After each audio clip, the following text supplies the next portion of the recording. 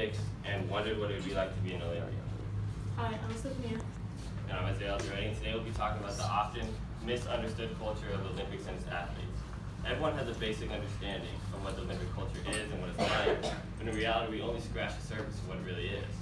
So today we're going to be talking about the history of the Olympics, the training and the preparation that goes into the Olympics, life during and after the Olympics.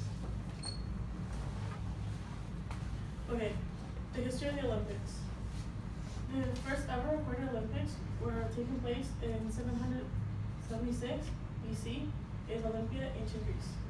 Now that's where the uh, um, Olympics actually got their name from the city where they first started. The Olympics started as a way to honor Zeus, the ruler of Mount Olympus, and later on were tied with religious events and other festivals. As as many things from the past, only men were able to participate in the Olympics. An interesting fact about the Olympics is that back in the day, they were actually performed fully nude. They would often just oil themselves up and then dust themselves with sand in order to protect themselves from the sun. When the Olympics first started, there was actually only 12 games. It's crazy to think that when now there's over 50 games taking place.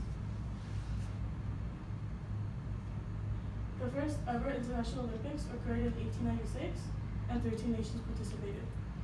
Later on, another important date would be 1924, where the first uh, Winter Olympics took place, and lastly 1960, where the first Paralympics took place.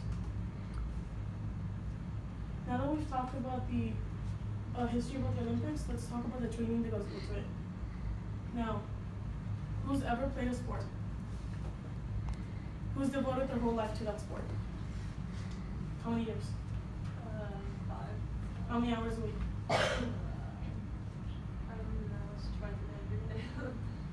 So most of the, Olymp- the Olympians now practice from anywhere from 25 to 40 hours a week.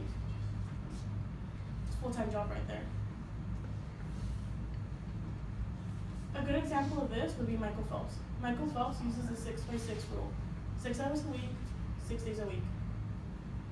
He averaged out to swim around 50 miles per week. It's crazy to think when I struggle to run a mile. Um, sorry. He, along with the training, there's also a very important part, which is recovery and diet. His diet will actually be 12,000 calories a day. It's crazy. Some people, that's what they consume in a week. That would be the enough calories for him to, to get all the nutrients and also to maintain shape. Along with recovery, which is a very important part of this. Okay, now come the Olympics, we all know what happens in terms of competition. What are the Olympians doing when they're not competing? And when they're not competing, that's when, where the Olympic Village comes into play.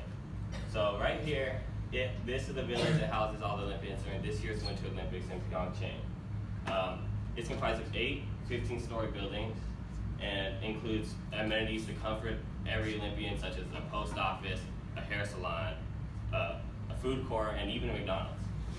And uh, Natalie Coughlin, what is it like to live in this Olympic Village? Natalie Coughlin, in an interview with ABC, says that it's a lot like living at a college campus, except that everyone is competing for the biggest moment of their entire life. And interestingly enough, she compares an aspect such as the food court to high school as well. As in the, in the food court, a lot of people tend to form their groups, and when they form their groups, they only sit with that group and only talk to them, so it becomes a little bit intimidating.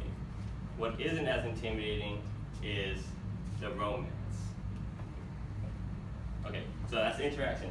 The romance is actually not usually talked about when it comes to Olympics, but it's pretty prominent when it comes to Olympic Village. and in the Olympic Village, um, Olympic Olympian Hope Solo, in an interview with People, says that there's a lot of sex going on.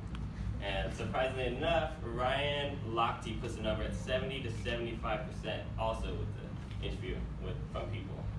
And uh, neither of those are scientific numbers, but it shows that it can get a little bit wild in the Olympic Village. But regardless of that, it is a pretty interesting opportunity for these Olympic athletes to relate to each other and to relate to people with the same struggle as them and to put their differences aside and come together as different countries and really focus on what they like doing, which is competing and competing in the Olympics.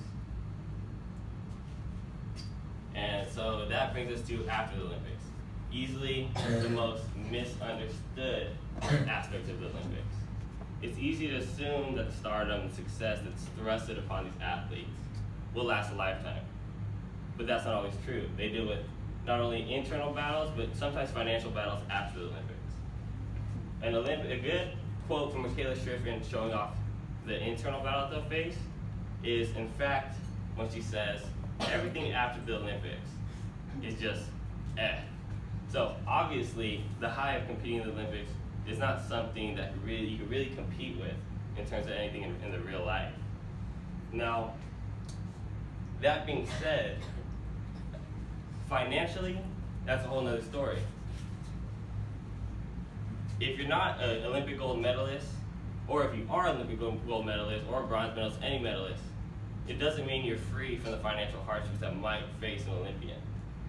So, a notable name is Ronda Rousey. In Beijing 2008, she received a bronze medal for judo.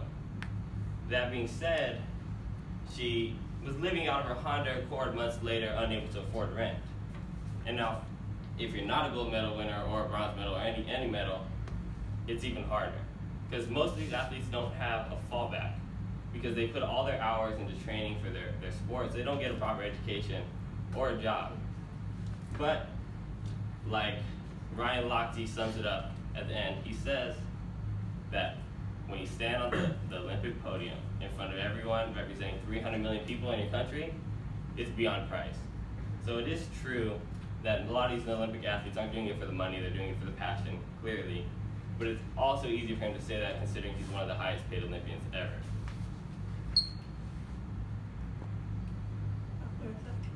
Um, today we've talked about um, what it is to be an Olympian, the history of it, the preparation and the training that goes into it, the amount of devoted years that people put in just to represent themselves and their country in their sport, the life during the Olympics, and also the life after the Olympics and the struggles and hardships they go through to do what they love to do. But let's not forget all the hard work that goes into this. Next time we watch the Olympics, remember what these athletes go to to represent their country and also in a way represent you because they also represent their countries and sometimes ours.